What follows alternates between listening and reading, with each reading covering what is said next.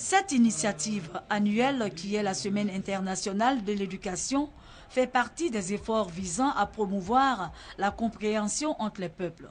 Pour l'ambassade des États-Unis, cette rencontre vise à encourager les étudiants ivoiriens à aller faire leurs études aux États-Unis. L'ambassade offre des informations objectives, les informations les plus exactes, les plus courantes. Nous travaillons en étroite collaboration avec les universités. Parce que en termes de l'aide financière, ça vient des universités. Donc notre but, c'est de faire connaître la Côte d'Ivoire auprès des universités américaines. Il faut des compétences il faut avoir, euh, faut réussir à avoir son diplôme. Ça peut être le bac, ça peut être le BTS. Ce n'est pas tout le monde qui va juste après le bac.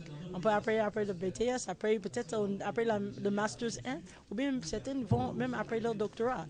Le témoignage d'un étudiant. J'ai collecté les informations auprès du service euh, en charge de l'éducation au niveau de l'ambassade à Abidjan. Et j'ai été accepté dans une université. Le financement a été assuré principalement par ma famille j'avais réussi, à cause de mes résultats scolaires, à, obtenir une bourse partielle de l'université.